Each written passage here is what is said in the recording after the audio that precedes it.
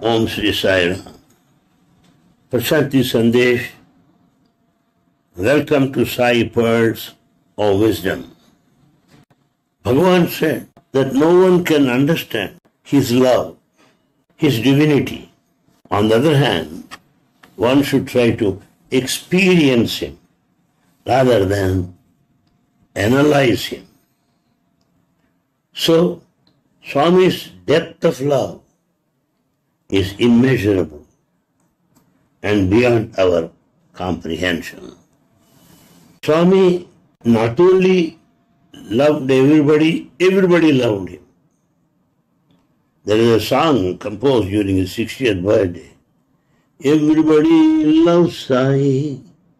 Sai loves everybody. Everybody loves Sai. Sai loves everybody. It happens. It's our experience. All teachers loved him like anything, more than their own children. There was one teacher by name Mehboob Khan who taught English and social science, was very popular among his students for his earnest and appealing teaching methods.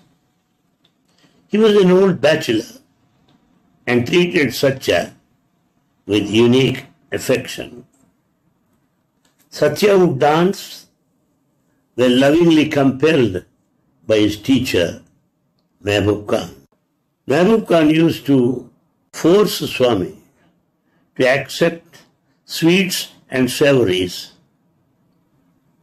that brought to the school. He would say that his house was specially cleansed for the preparation of the dish because he knew that Satya would not eat anything having the remotest contact with the non-vegetarian dishes. He would say that he himself had not taken food yet, Mehboob Khan. That he himself had not taken food yet, for he wanted Satya to partake of it first. He would silently, for long, stroking Satya's hair, Mehboob Khan recognized quite early the great power that Satya was. His friends, however, treated him as not different from themselves, and Satya did not harp on any differences. In fact, he believed in sharing. Satya would bring groundnuts in his pencil box. Once in the sixth class, when he was not in the classroom, Gazula Krishnaya, one of his schoolmates, stole the groundnuts. When Satya returned, he asked Krishnaya, Why did you steal all of them? You should have kept some for me. Just he passed a negative remark, that's all. Another great feature that we find in Swami is that he is a great composer. He composed many songs and tuned them and made everybody sing along with him. At Kamalapuram, a provision storekeeper named Kotte Subbanna wanted Satya to write a jingle for the medicine he sold. Satya would one day speak of him in later years. This is what Baba said. Kotte Subbanna knew that I would compose poems and songs. He would come to our school now and then and tell me, such and such a medicine has come. Certain stocks of medicines have arrived. Write some advertisements for them. I used to write suitable jingles for them and then take the boys along with me around the town singing the jingles. Kotte Subbanna had a small bamboo mat. We would fix a stick to it and on the mat paste the written matter to be advertised. We went around the place singing in praise of products. Kotte Subbanna would feel very happy to hear the jingles and he would give me the articles and books that I needed. At that time, a new medicine called Bala Bhaskara had come. He pressed me to write an advertisement for this medicine. I took up the work and wrote a poem as follows. I'll give you the English translation to the original Telugu version composed by Baba himself. We have found Balabhaskara. Come, come, O boys. Illness of all sorts, pains and swollen hands, good for all troubles, diseases of worst types. Come, come, O boys. If you ask where to get it, everyone knows it. Look, look here at Kotte Subbanna's shop. Come, come, O boys. Pandit T. Gopalachari's precious tonic. Come, come, oh boys. When Samin sang this jingle, Kotte Subbanna was thoroughly pleased. When the train boys began to sing in the bazaar, he distributed money to all of them. Other shopkeepers who heard the songs written and sung in this manner began to approach me. They began inviting me while I was in the school or in the house to write jingles for their product. If they supplied the subject matter, I willingly wrote for them the text for the advertisement. An excellent writer, his compositions are poetic,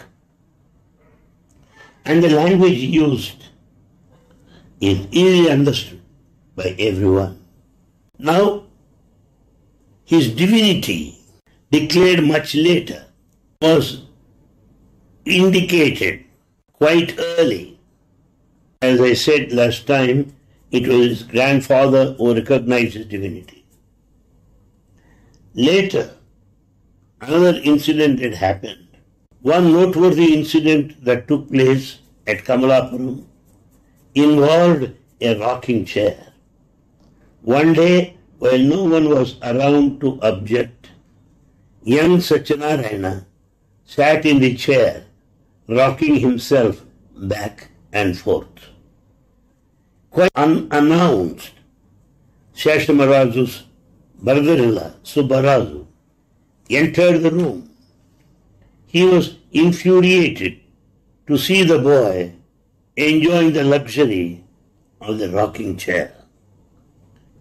He shouted at Satya, Are you a prince that you want a swinging chair? On hearing these remarks, Satya felt very hurt and immediately resorted. You do not understand now who really I am. You shall see in time whether I am a prince or something bigger than that. This Satya will take his seat on a chair, nay, on a throne, empaneled with silver. Subbaraju protested, but as Sheshamaraju had just entered the room, the situation was diffused. Little did Subbaraju comprehend then that his annoyance at little Satya would later turn into tears of joy and repentance for not having comprehended his reality. Little did Subbaraju know then that these would turn out to be prophetic words. That years later, when a new silver throne would be brought for Baba, he would not allow any devotee to uncover it for a long time. One day, Subbaraju would be ushered into Baba's presence and asked to uncover it. Subbaraju was not actually at fault. Nobody was really at fault.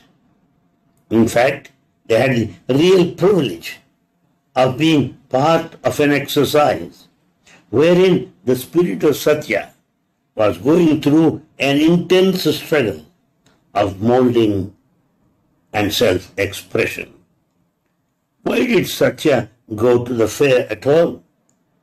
Was it that he was left with no choice? Or was it that he did not want to disappoint his schoolmates? Was it worth it at all? At the cost of so much personal deprivation? He had the choice to take the new pair of clothes from his friend. He had the choice to receive almost thrice the amount for his unused books. But he did not exercise any of these choices. The events at Kamalapuram and Pushpagiri demonstrated how Satya actually lived in love. In the years to come, this love would blossom to fullness and mankind would understand why little Satya always went out of his way to make the concerns and problems of others his very own. What prophetic words they were. Really a wonderful thing. The spirit of tolerance in Bhagavan, right from his childhood, is amazing and unbelievable. Once at Kamalapuram and went on to further studies at the Samiti Elementary School in Bukkapatnam. Bukkapatnam was four kilometers away from Puttaparthi, across the Chitravati river. Satya would walk to the Bukkapatnam school, his hair well combed, wearing two dots, one of vibhuti and another of kumkum on his forehead. He was always clean and neatly dressed. Venkata Subbaya was one of those boys who accompanied Satya to school and back. He and others would mischievously throw thorn balls at Satya's thick hair and Satya would run away to avoid them. The students at Bukkapatnam was rather trying on young Satya, hardly 14 years old. He had to finish preparing breakfast and lunch for himself and his grandfather at Puttaparthi in the early hours of the morning. He had to have his routine breakfast of a porridge-like mixture of the locally grown ragi and broken rice or cold rice and curds as an alternative. On the way to school, there were a few older boys also who were jealous of the new special student at the school. They would rag him. They would even manhandle him in the sands of every now and then and douse him with waters of Chitravati, spoiling his clean clothes. He was never ruffled. He would tolerate the ragging in a sportive spirit and with a smile, bearing no ill will. In this brief talk, the spirit of tolerance that Swami had, right from his childhood, and his prophetic words that the world will know and recognize his divinity. And his talents in composing songs and poems and his abundant love are highlighted so that we also learn to some extent of these divine qualities. Saira